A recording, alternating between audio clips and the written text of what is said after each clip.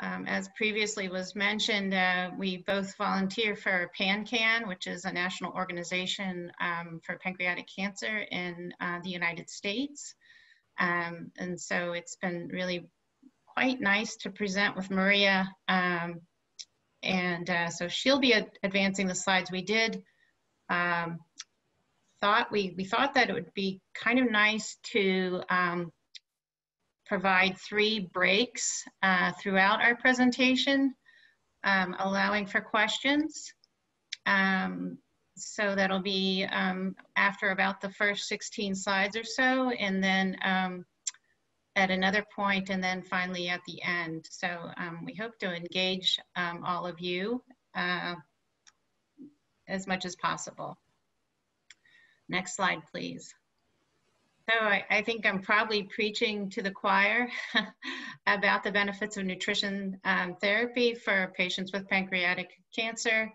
Um, you know, I, I, think when we meet, meet patients for the first time, as well as caregivers, um, a lot of what I project is the goal is goal is weight maintenance. So maintaining weight, I don't care what size the patient is, whether they're obese or very thin, we know that um, maintaining weight, maintaining good nutrition means that they're going to respond better to treatment.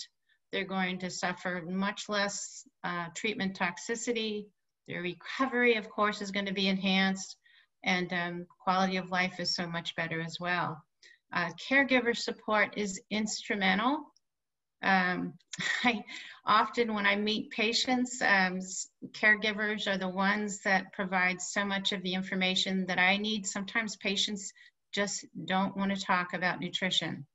Um, they're inundated with it at home um, from other providers about the importance of nutrition. So the care caregivers are wonderful to connect to. The booklet, Diet and Nutrition, um, is actually written by Maria and it is free. Um, it's provided, uh, it is really focuses just on pancreatic cancer, so it is unique. Um, it's free through pancan.org, um, so um, just wanted to pay tribute to that. Next slide, please. So, like I said, we're, you know, we're hoping to sort of um, give you a variety of um, information today with a focus on um, enzymes and what we refer to as pancreatic exocrine insufficiency, talk a little bit about some of the strategies for symptom management that Maria will go through, um, address some of the frequently um, asked questions that we have at the end if, if there's time. Um, our slide deck, I believe, will be available um, um, to patients or to caregivers at the end of the presentation. So you'll have a lot of these resources. Next slide. So um, really important to, you probably have, you know, read about this or have been told about the role of the pancreas, but I can't tell you how many patients that I speak to who forget about what do enzymes do and how are they different than insulin? Um, it comes to mind of a patient that um, actually had a total pancreatectomy and of course needed to use insulin and pancreatic enzymes to assist her. Um, so obviously two different roles that enzymes help to digest food that's transported into the bloodstream, whereas insulin really helps for the transfer of glucose from the blood to the cells. And um, we'll give you a little bit of schematic um, illustration in the next slides ahead. Next slide. Um, I will, you know, be a little humorous about this, but I, I, do feel like the stomach is overrated. I feel like the pancreas really rules when it comes to digestion and absorption. Um, it really is critical in terms of digestion. It lies just beyond the stomach there and often is compared to um, a fish, I don't know what kind of fish that would be, whether it's a perch or a cod, or maybe in, in New England, we might refer to it as a cod. um, next slide, please. This um, slide, um, Maria, um, is so well il illustrated in terms of what pancreatic enzymes do. I have patients um, who are taking pancreatic enzymes, and it, so commonly, you know, to hear them say, uh, "What do these do again? How do they? How are they going to help me?" But if you think about enzymes almost like scissors, where they're cutting down, breaking down the food that we eat, which is, you know, a variety of proteins, fats, carbohydrates, into smaller components, fatty acids, amino acids, glucose, um, so that we're more easily able to absorb it into the body. Why is that so important? Well, we'll talk about that in the next few slides, but if we didn't absorb a lot of these calories, of course, we probably would lose weight, um, simply put. Next slide. Insulin, different. Again, remember it's, it's, it's uh, the pancreas makes, produces insulin. And that insulin enables the glucose that's been broken down by enzymes um, to connect to receptors on cells uh, to then be used in the cell for energy. Next slide. This is a, a great animation um, that's, if you can go to the animated pancreas page, uh, patient, uh, Google that, it's through the National Pancreas Foundation. They, they offer some really good um, animated explanations of um, how the pancreas works, um, what is exocrine pancreatic insufficiency, um, so we thought we'd just put that on there as a resource for you. Next slide. So exocrine refers to enzyme production. So pancreatic exocrine insufficiency, no, so not producing enough enzymes. Um, this can be seen at any point. Um, it is the first question or series of questions I ask patients when I first meet someone with pancreatic cancer. Um, and then ongoing, these are the same questions that I ask our patients throughout treatment. It can show up at diagnosis, during treatment, post-operatively, six months post-operatively, a year post-operatively. Um, and these are some of the signs and symptoms of what patients may experience if they don't have enough enzymes. So that indigestion or cramping associated with eating, a large amounts of gas, particularly malodor malodorous, floating stools, greasy fat stools, um, light colored, unexplained weight loss. Next slide.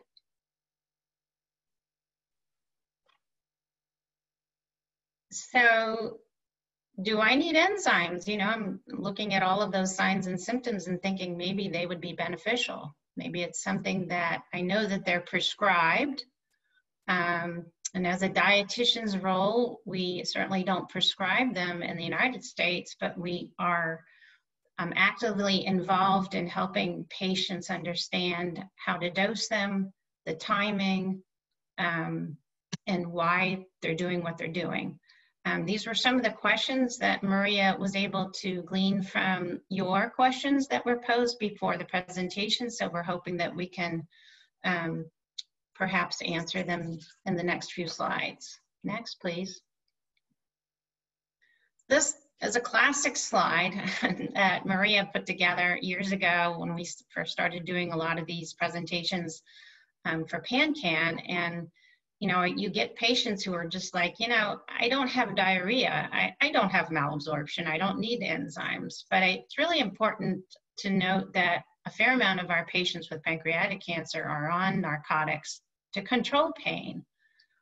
Of course, that lends more to constipation. And in fact, in that situation where maybe that patient does have malabsorption, does that actually balance the diarrhea so that that patient may then say, you know what, I have normal bowel function. I'm fine. I don't need enzymes.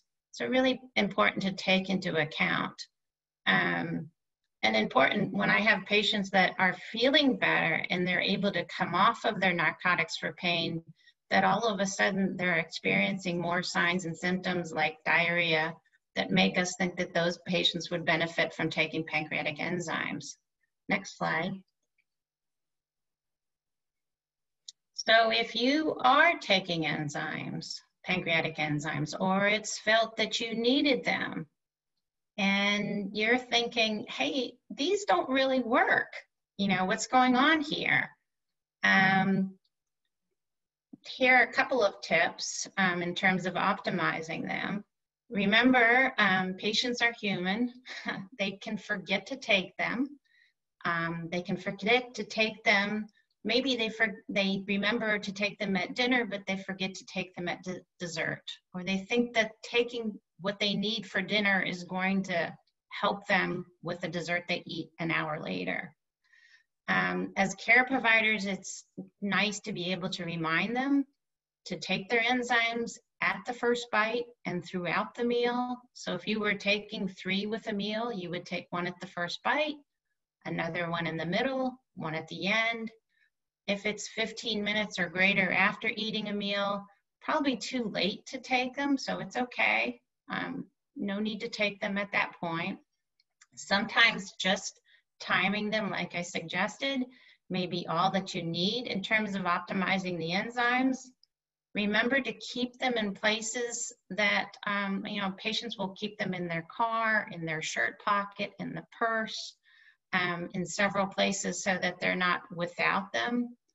Um, try not taking them at the same time as antacids or iron supplements. Sometimes acid reducing medications may help to activate the enzymes or make them um, work a little bit better.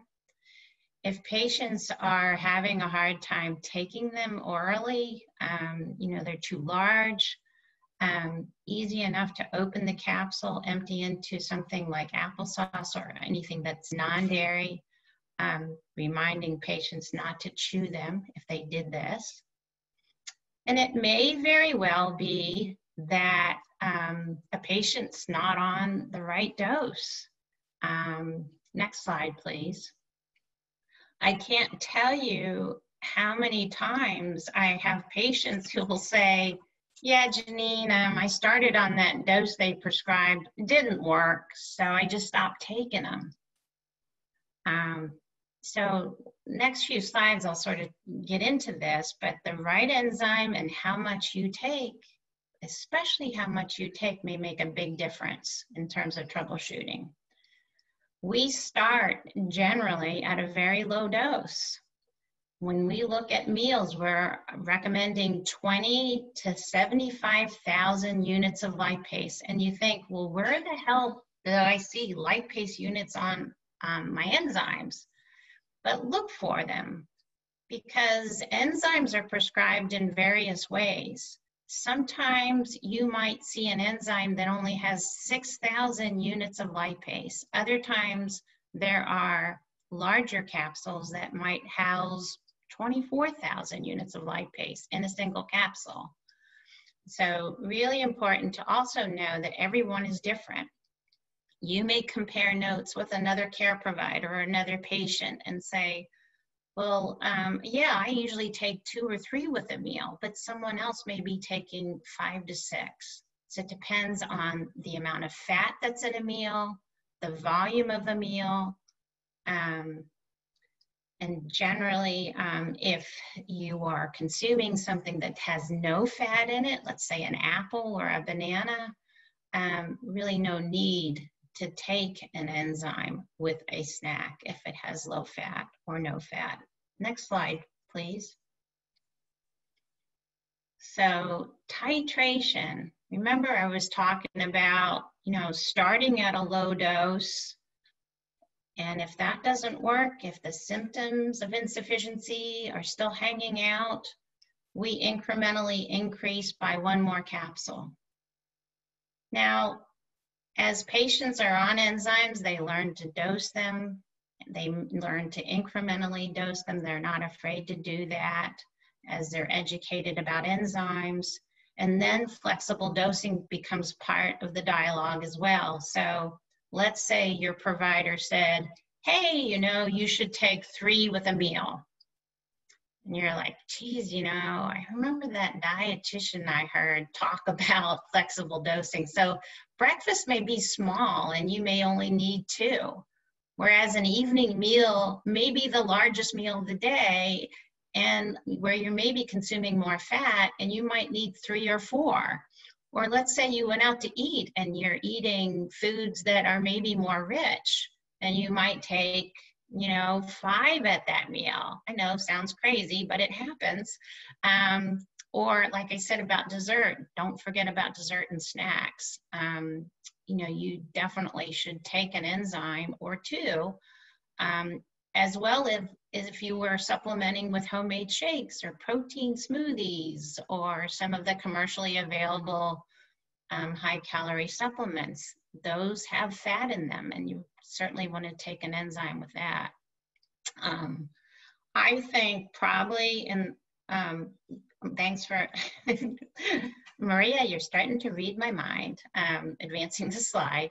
Um, I really do feel like probably the biggest issue with enzymes in, in my patients with pancreatic cancer, and I think Maria would probably agree, is that patients are afraid to dose up because nobody really told them to do that.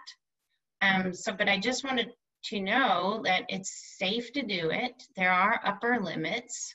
We um, usually will say a max daily dose of um, kilogram weight by 10,000 uh, unit lipase units per day. So if you took someone who was 130 pounds or 60 kilograms, that means that they could take 48 capsules of Creon. Now, note I said Creon 12,000s. Well, if it was a Creon 24,000, that would be 24 capsules in a day. So that's a lot, you know, that's an upper limit. That's quite a lot. And most of my patients never get to that limit or they're afraid to, but with some encouragement, we're actually able to help patients get to the right dose. Next slide, please. Um, and, you know, I had a caregiver just told me the other day, um, you know, Jeannine, I, um, I read the side effects on enzymes and I don't want my I don't want my husband taking them. And actually, she wouldn't let him take any more than one per meal, and he was taking Creon 24. So um, we talked a little bit more about some of the side effects. I think most often what I see is constipation, but but most of the time that's transient, and we're able to offset that either through diet or with the addition of meds. Um, really, really careful. I had another another instance, um, and I and I felt really awful. But one of our patients uh, decided to try enzymes. We felt like he he certainly had pancreatic insufficiency. He started the same day or day after he had his FOLFIRINOX, and um, stayed on the enzymes for three or four days. He called me and said, "Oh my gosh, Jeannine." those enzymes, they caused nausea, diarrhea. It was horrible. And, um, you know, it most likely, you know, probably uh, was it was probably because he's his treatment was most like, likely contributing to those side effects. Um, so at some point, perhaps I might be able to get the patient to try it again. So we're going to go ahead and move on to some nutrition strategies for common symptoms and side effects. Um, we got questions such as, um, you know, what are some tips? My, my, I'm taking care of my significant other and they complain about food tasting strange. Um, also a comment about food not sitting well. And I think that some of the, uh, you know, we've spent a lot of time on enzymes because that is just such an important part of side effect management with, with um, this group of, of individuals. Um, and then somebody asked about what's the best diet to help gain weight, but also considering diabetes. So we're going to touch on that a little bit here. Common side effects we get questions about are poor appetite, um, early satiety, so feeling full really quickly, um, nausea or vomiting, taste changes, changes in bowel movement such as diarrhea or constipation, feelings of excessive gas, how to deal with diabetes.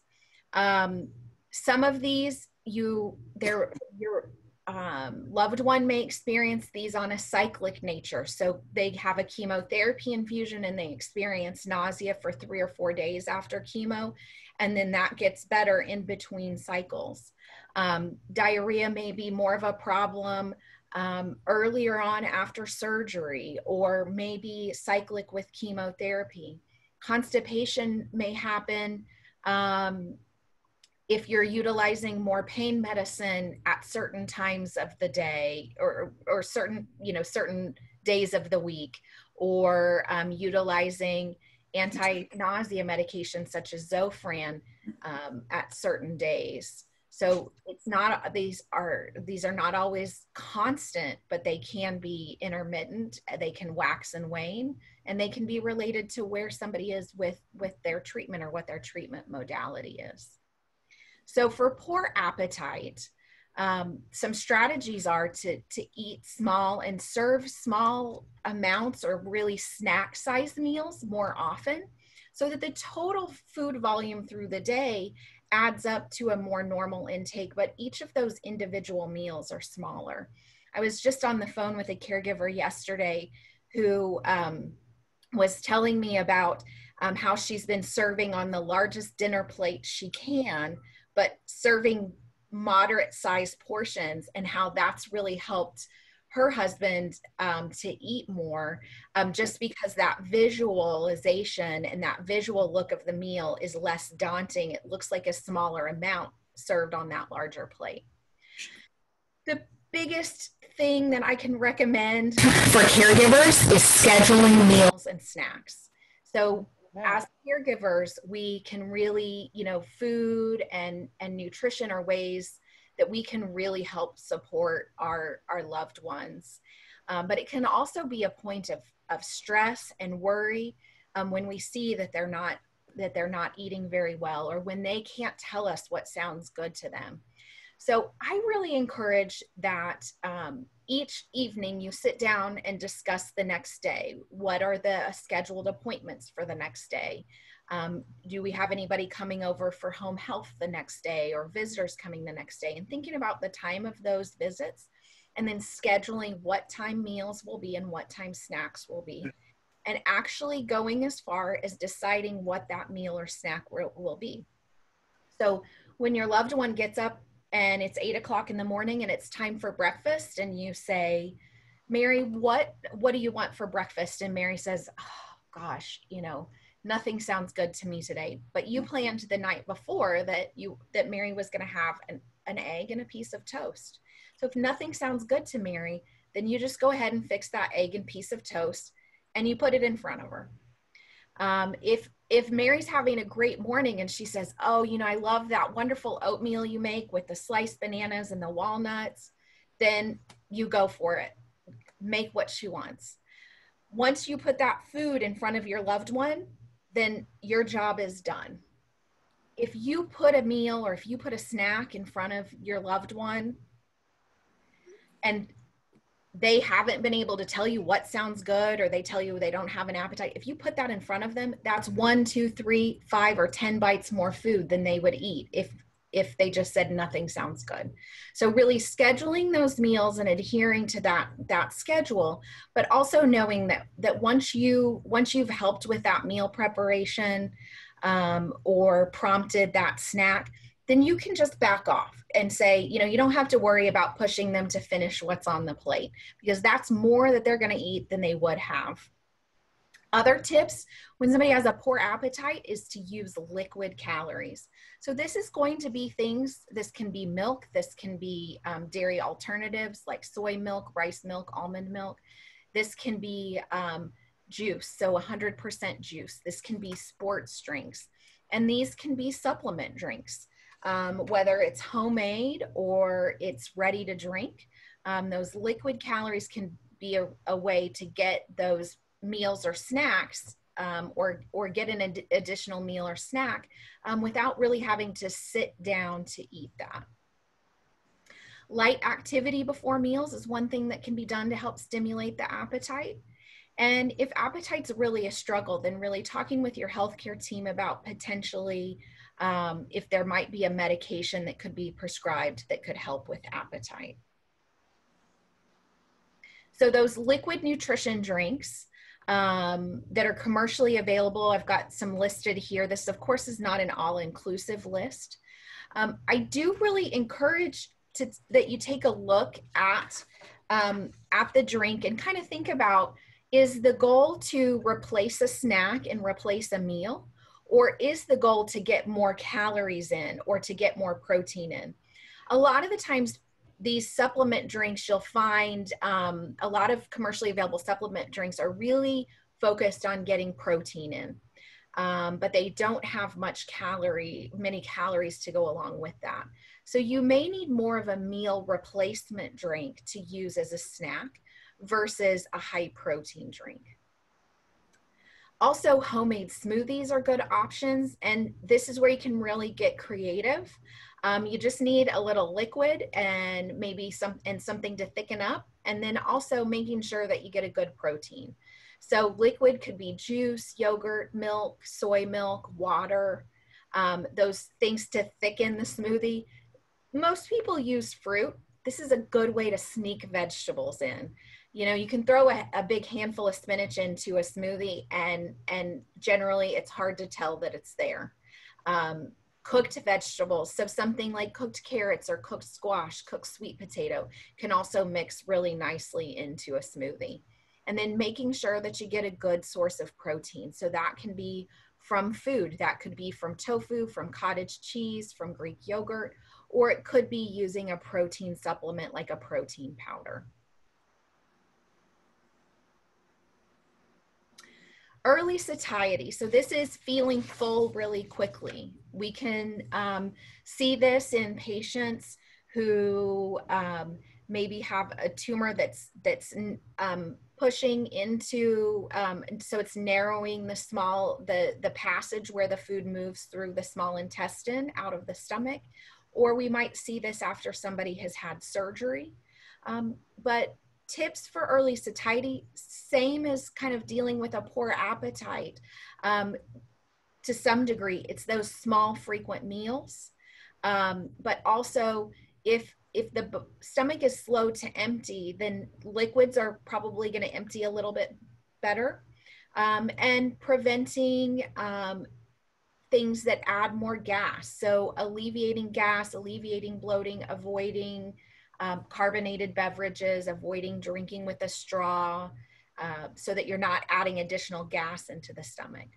If somebody gets full really quickly, high fiber foods can actually um, make them feel full faster and can be slower to empty from the stomach. So we, we recommend kind of backing off those high fiber foods if they have a slow emptying stomach.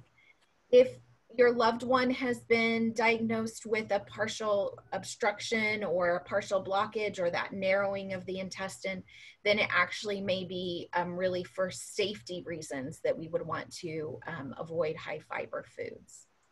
There are some medications for a stomach that is slow to empty. There are some medications that sometimes can be prescribed. Um, with any medication, they all have potential side effects or interactions with other medications.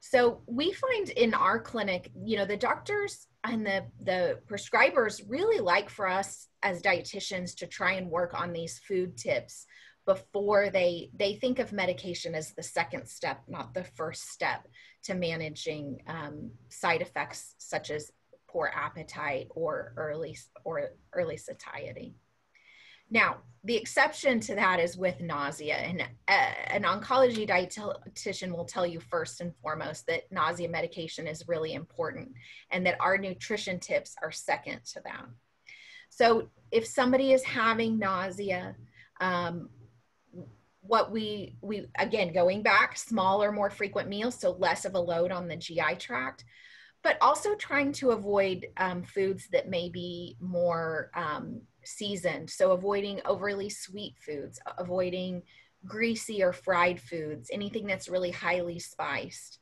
Eliminating offending odors. So this may be um, that your loved one um, on a nice day sits outside and enjoys fresh air while you're cooking in the house because the cooking smells can can bring up nausea. Or if you have a window in the kitchen opening the window in the kitchen can be helpful Using cold foods or cold foods that are at room temperature can also eliminate those offending odors. Um, using good oral care is important and um, trying to eliminate stress as much as possible and then hydration and this this is an overarching theme as well is really working on staying hydrated um, instead of drinking uh, big big cups of water all at one time really sipping throughout the day constantly keeping a bottle of water or uh, a carton of a supplement drink or a, a glass of milk something there with your loved one um, whether they're sitting in their favorite chair or if you're out for a walk, keeping keeping liquids on you at all times and really trying to sip, sip, sip throughout the day. Taste changes. So one of our participants asked a question about taste changes, and we do have a lot of, of individuals who experience taste changes um, with one of the common chemotherapy regimens for pancreatic cancer. So the FOLFIRINOX regimen that involves oxaliplatin, um, that oxaliplatin can cause a metallic taste. Um, cisplatin is sometimes used in chemotherapy regimens for pancreatic cancer. That can cause a metallic taste. So dealing with taste changes um, is common for a lot of individuals. One of the things that can be really important is rinsing the mouth. Um, if your mouth is, if you don't have any issues with mouth sores, then rinsing with a little water with lemon can be helpful to kind of perk those taste buds up.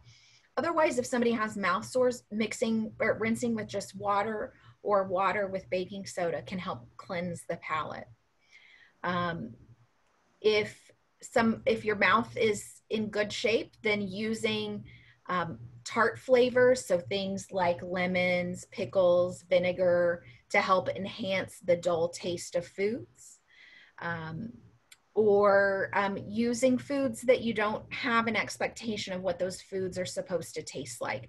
So if somebody's uh, dealing with taste changes, I often recommend you know, try those foods that you haven't liked in the past. If yogurt was something that you've always steered away from that you didn't like, maybe that's something that you would like now.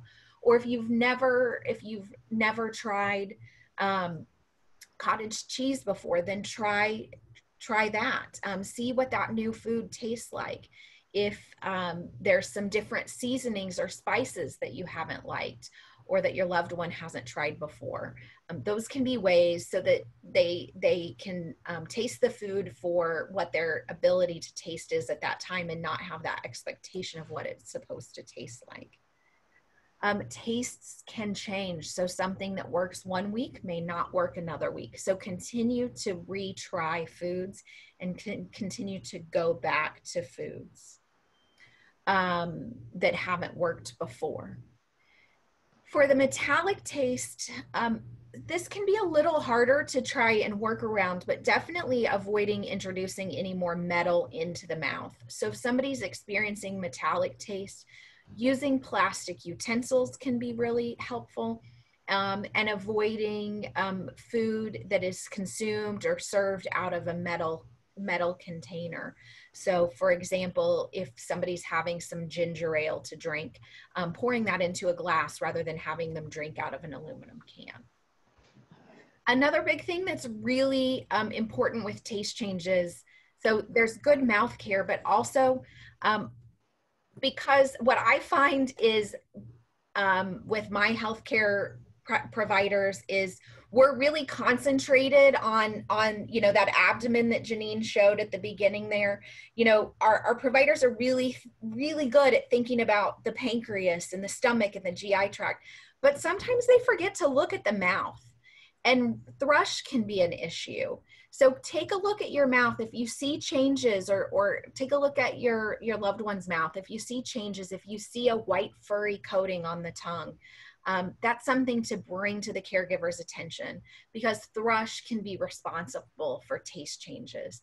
And if somebody has had a decrease in their immune system, whether it's a hit to the immune system by surgery, or if they've been on a, a lengthy course of antibiotics or multiple courses of antibiotics, um, or just simply a, a decrease in, in um, immune system with with chemotherapy that does give an opportunity for thrush to present. So really keeping an eye out for that. So um, sometimes so we we really um, spend a lot of time talking about enzymes because those are so critically important and so beneficial um, and really solve the diarrhea issue for a lot of people but there can be many different causes of diarrhea so some of one of our participants wrote in and said you know my brother's been taking enzymes and and they just really haven't worked he still has a lot of diarrhea um, somebody else said, you know, what are some tips? What can I do for this chronic diarrhea? So if somebody is on enzymes, they've worked, they've they've done that titration, those adjustments, that troubleshooting, spreading the enzymes through the meal, um, avoiding the antacids with with the enzymes, increasing, decreasing the dose. If you've really worked on that with the enzymes and are still experiencing um, some diarrhea, other things could be contributing Of course, as Jeannine mentioned, um, the FOLFIRINOX is, is um, notorious for contributing to diarrhea for a lot of patients. Um, but also lactose intolerance. Somebody that wasn't lactose intolerant before um, could become lactose intolerant. If somebody has had surgery, there's a possibility um, of, of bacteria growing in certain parts of the intestine that they don't normally grow or an overgrowth of bacteria. Um, if somebody's been on antibiotics or multiple courses of antibiotics, risk of something called C. diff or Clostridium difficile, which is an overgrowth of a, of a bacteria. Um, also, if one has had surgery, um, whether it is a Whipple surgery or um, a, a, bypass surgery for uh, a blocked intestine or a history of, of a GI surgery, um, when the stomach has been altered, patients can have something called dumping syndrome. And this is where the food empties very rapidly from the stomach. So, working with your team, if chronic diarrhea is an issue, working with your team to try and get it at, at what might be the root or what multiple causes may all be contributing to each other and, and working on strategies that can help with that. So, some nutrition strategies, regardless of the cause of diarrhea. Um, some nutrition strategies are going to be to reduce or avoid lactose in the diet. Or if dairy products are a significant source of calories and protein for your loved one, um, utilizing lactase, which is an, which is a, in the United States, this is an over-the-counter um, enzyme that helps break down, helps specifically to break down the the lactose in dairy um, this would be supplemented in addition to pancreatic enzymes. This is not something that is part of, of pancreatic enzymes. If somebody is experiencing diarrhea, then we want to reduce insoluble fiber in the diet. This is what some of us think of as roughage. So, this would be reducing or avoiding foods like bran cereals or whole wheat um, whole grain um, cereals, whole grain bread, things that are made with whole oats, or, or excuse me, things that are made with whole wheat, um, may need to be reduced during the time of, of the diarrhea episodes. Foods that are sweetened with sugar substitutes, especially sugar alcohols, and foods that are sweetened with a lot of sugar can contribute to diarrhea. So, really reducing um, or eliminating those foods from the diet, especially when somebody's having a, a lot of diarrhea. But things that you can provide more of or things to do more of are going to be to increase the soluble fiber foods, the sources of soluble fiber in the diet. So this soluble fiber works kind of like a sponge and it absorbs um, extra fluid from, from the gut and it helps gel the gel that extra fluid. So there are some foods that are high in soluble fiber. Most of the, the foods most commonly um, are going to be bananas, the inside of the apple, so the apple meal. So apple without the peel or apple that's been cooked without the peel, so applesauce. But being sure with something like applesauce that that's not sweetened with added sugar. Um, also, oats are a good source of soluble fiber. So um, oatmeal or something that's made with whole oats, like Cheerios, could be an option We do want to stay away from that the whole wheat uh, foods, but the whole oats, the foods made with whole oat fiber could be helpful. Barley is another good source of soluble fiber. And then again, making sure um, that you are staying well hydrated.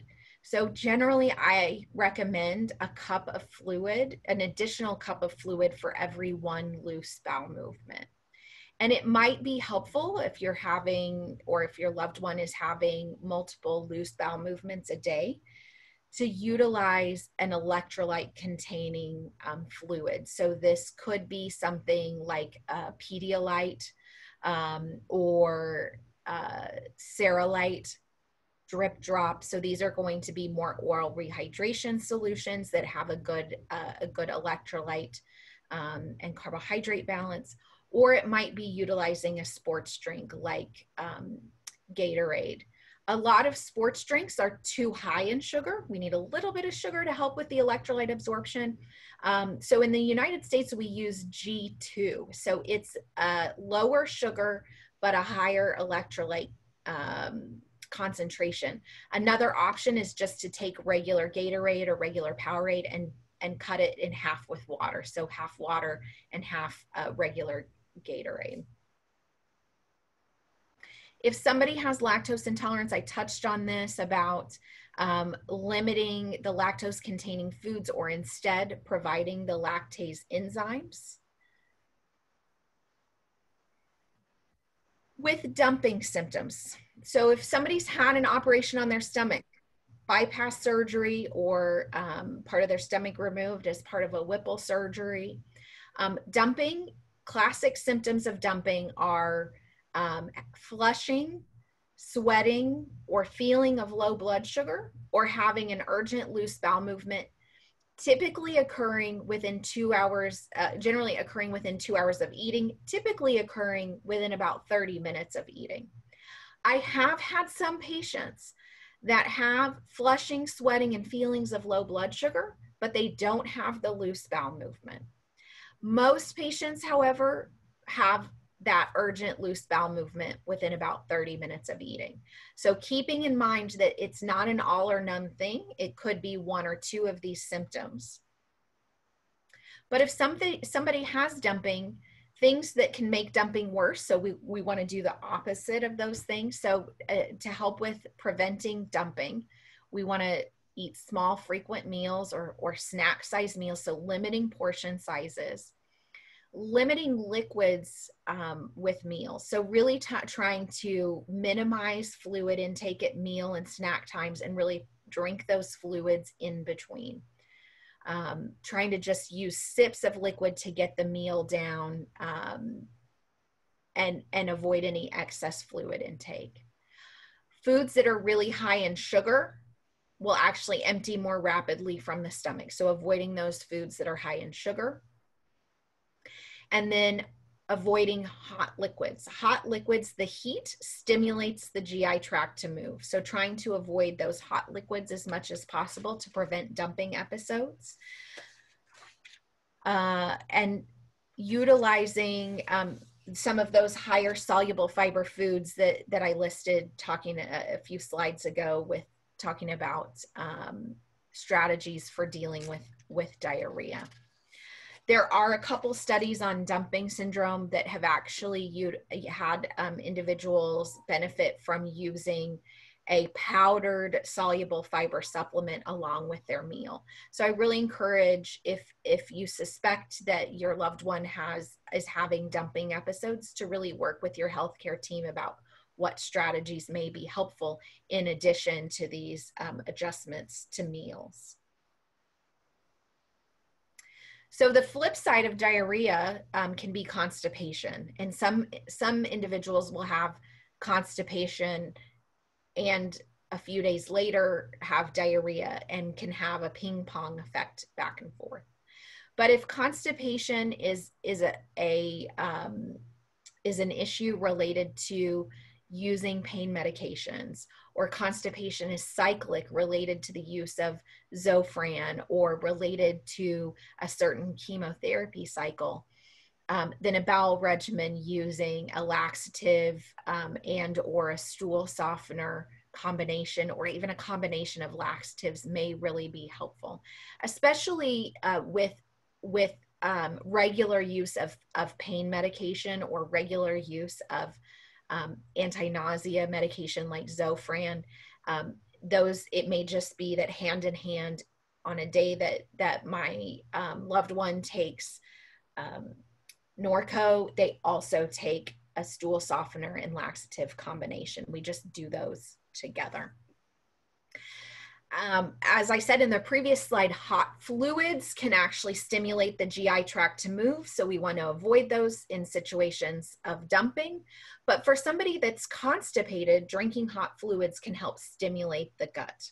So um, some of us may have the the effect of coffee so a lot of individuals may start their day with a cup of coffee and find that they have a bowel movement 30 minutes later um, this can be any of us but for somebody that has constipation really taking advantage of of of that um, trait of a hot coffee or a hot cup of tea can help keep the bowels moving regularly. Just like hydration is important for for um, diarrhea um, and for nausea const- for constipation hydration is important as well. So if we're thinking about overarching things and overarching themes um, that we as caregivers can help our our loved ones with. Staying hydrated is really really important. It's really important if you're going to utilize higher fiber foods or fiber supplements to help with constipation that your loved one is well hydrated um, before you start making increases in fiber or adding fiber supplements to help with constipation. So, hydration, hydration, hydration. Um, cannot stress it enough. If somebody is feeling full really quickly, it, we don't want to create excessive gas in the, in the GI tract. If um, somebody just in general is feeling really gassy, they've optimized their enzymes, but they still have a lot of gas, there's a lot of things that we can do to help with that. So, first is thinking about what foods cause gas. So, typically, our cabbage family of vegetables. So, thinking about broccoli, cauliflower, cabbage, Brussels sprouts, those can be very gas producing for, for a lot of individuals. Some people may have gas with one of these vegetables, but not with another. So, really honing in on that. Um, onions and beans are also very notorious for causing um, for causing gas. So if somebody's already experiencing a lot of excessive gas, then we may want to um, really uh, eliminate these foods from the diet for a period of time. Carbonated beverages, of course, those introduce more gas into the system, and not forgetting that beer is a carbonated be- beverage. So not just our sodas, um, but but beer is also carbonated. So avoiding these in the diet if somebody experiences excessive gas. Things like drinking through a straw and chewing gum actually cause us to swallow more air. So eliminating those um, behaviors can help with reducing excessive gas. And then um, treating with simethicone or Gas-X. So one of our um, participants today commented about um, helping by giving their um, husband or brother um, Gas-X to help with the excessive gas. And um, one of the things that I tell patients is there's really been, you know, unlike a lot of medications um, that all have have a maximum dose and and simethicone, there's really not been any any studies that have been um, reported or produced that have actually so, shown um, that a maximum dose for simethicone. So legally, they have to put on the package to avoid taking um, a certain more than a certain amount of Gas-X, but it um, may be helpful to take more than what um, those package limits are. So working with your healthcare provider to if you if you're taking um, you know, in the US, we think about, um, we use Gas-X Ultra. If, and the package says take no more than four in a day, um, I really regularly will have patients take double that. So working with your healthcare provider about, um, you know, if I'm currently giving my loved one this amount. Can we go up from there? And then Beano um, is another enzyme that's not part of pancreatic enzymes, but this is an enzyme that specifically helps with breaking down plant fibers. And this can work on um, plant fibers in things like broccoli and cabbage, not just in beans. So that can be something to be, um, that could be helpful to take in addition um, to Creon or in addition to um, lactase pills um, these are enzymes that are just not included in that standard pancreatic enzyme um, pill. Um, moving along to, to glucose intolerance or diabetes. So patients who have pancreatic cancer um, may arrive at this diagnosis of diabetes different ways. It could be that somebody has had diabetes for um, many, many years in their life. Um, it could be that they were just diagnosed with diabetes a few months before the diagnosis of pancreatic cancer. Or it may be that they had surgery that removed part or all of their pancreas, and that has caused them to be a diabetic. So there are many different ways that somebody um, could become diabetic, but our management of that diabetes um, is going to be pretty much the same regardless of, of how that um, how what the cause of the diabetes was. With someone who is struggling with side effects of treatment, struggling with eating, um, struggling with weight loss, typically we're going to want to be more aggressive with medication or insulin and working closely with um, our healthcare providers Oftentimes, for individuals with pancreatic cancer or with diabetes due to pancreatic cancer or, or surgery, um, I find that utilizing the services of an endocrinologist, so somebody who specializes in diabetes, specializes in care of the endocrine system of the pancreas, um, that can really be helpful so if you're finding that you're having difficulty with blood sugar management or or aggressive medication, um, you have somebody that's that's not comfortable with aggressive um, use of medication or insulin, uh, such as a general practitioner or family practitioner, then maybe really um, turning to a, a, specialist in diabetes, an endocrinologist, or um,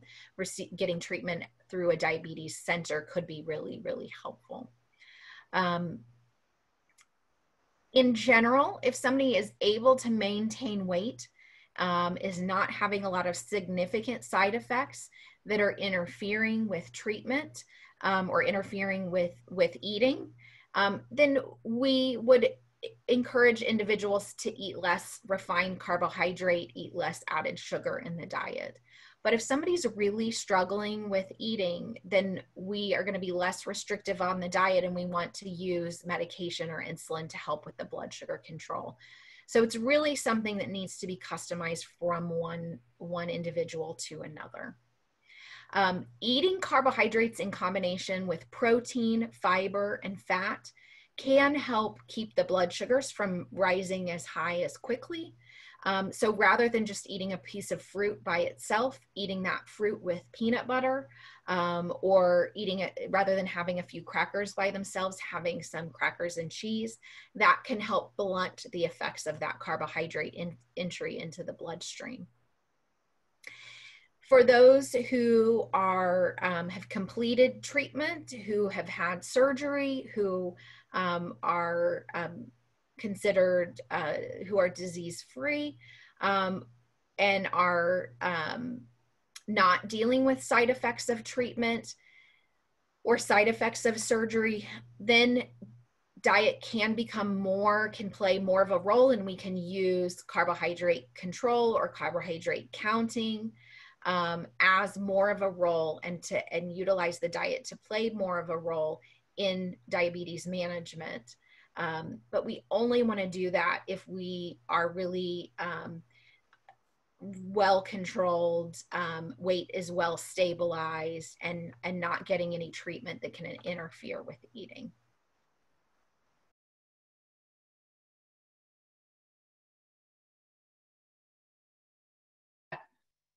uh, we see a fair amount of patients postoperatively from Whipple or pancreatectomy, not total. I see patients with total pancreatectomy too, but if I'm just talking about patients post-op Whipple um, who are on enzymes, you know, out the door from the hospital, their first question when I call them is, hey, how long do I have to be on these enzymes? so, um, because it's not pleasant taking them. I hear that from patients. Um, having to take them every time you eat. Um, so um, patients, um, uh, we usually, um, I think the consensus is uh, to patients that should remain on enzymes for six months postoperatively, at least six months. Um, I do have patients that want to trial off of them, and I will advise very carefully, like Maria is saying, that you can have mild insufficiency, even moderate, and not show these blatant signs. Patients sort of just brush it off as, oh, that was Whipple. Um, and then you can run in, into troubles with um, vitamin deficiencies like vitamin A, D, because we're worried about long-term, you know, um, bone growth or bone health. Um, and more often, we seem to be running into the problem of iron deficiency after Whipple because the small, the first part of the small bowel is removed and, and that's where iron absorption can take place. So um, like Maria is saying, it's really important in these patients that someone, whether it's the oncologist or primary care, is monitoring these levels um, annually. Um, usually we'll check nine months, nine months, six months after Whipple, but um, and I think that out of uh, Maria, I don't know if we're going to be able to, yeah, I, because I know we're running out of time, um, and I'm glad we have the slides to provide, but um, these are some of the levels that we do check for postoperatively. Um, along with vitamin A and E. These are some of the fat, fat soluble vitamins. Um, we check for ferritin, which is one of the indicators for iron deficiency, as well as an iron panel. Um, and um, Maria is a co-author of a really important pa paper looking at survivorship in surgery patients um, with pancreatic disease. So if you can PubMed that or Google that, it's a very great, it's a wonderful paper. Um, and then Maria, I don't know, um, maybe the, the one slide that I did want to bring up, I don't know how much time we have, but um, the, the dietary supplements, that's sort of a, that's sort of uh, another talk on of its own um, and providing some advisement um, because we're always very open to hear about what patients are taking for supplements, but um, I always like to sit down and get that list from patients in terms of what they're taking and why and how long. Sometimes you'll have patients taking supplements because they were just diagnosed. Other times these patients have been on supplements for years. Um, sometimes those patients are the ones that have stopped taking them at diagnosis because they're eating so poorly, some of them and so they're just concentrating on getting calories in. Sometimes it's interesting to hear what care providers, what their wishes are. Uh, sometimes I hear most often, you know, that they want them to remain on supplements, and sometimes it's really hard for patients to get a number of supplements in in a day when they feel full quickly, when they can't eat calories. Um, but just some things, just to be, you know, be very cautious of, you know, that just because it's a, a supplement or herbal based or plant based doesn't mean that it might not be harmful, especially in that a lot of these things, most of these things are not even standardized, and there can be some false claims and that are very seductive and luring in patients because, of course, you want to do everything you can possibly do for yourself. Um, but there are supplements that can interact with other supplements or some of the medications that you're taking or even the chemotherapy that you're taking. So really, really, really important to have that conversation with your team, present what you're taking, become educated about what you're taking. A lot of my patients, you know, they'll be, they'll take supplements, but they don't always necessarily know how much or why they're taking it. Um, but there are some concerns in terms of some of these supplements um, can be um, naturally anticoagulants. They can um, have impact on blood pressure, on glycemic control or blood sugar control.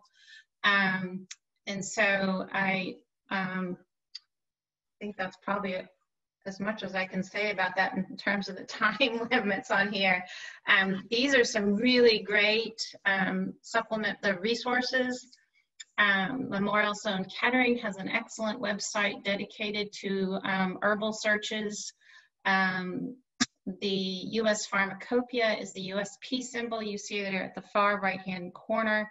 And it's, um, it sort of advises on drug standards that are, are enforceable in the United States by the FDA. Standards are also used in about over 140 countries. So it's a symbol that we look for and in terms of supplements.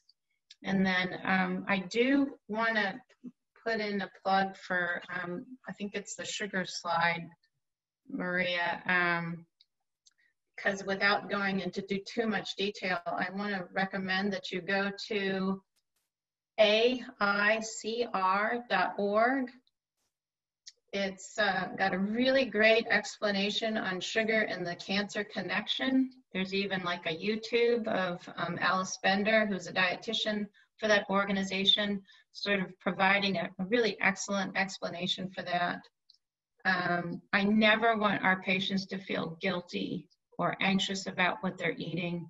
And unfortunately, um, sugar feeds cancer can be very um, um, uh, um, a little vicious in that regard. And, and I just, uh, it's always about what we can add to the diet versus taking away. Maybe that's probably the best said that I can say at this point, but um, these are some of the cookbooks and other resources that are out there.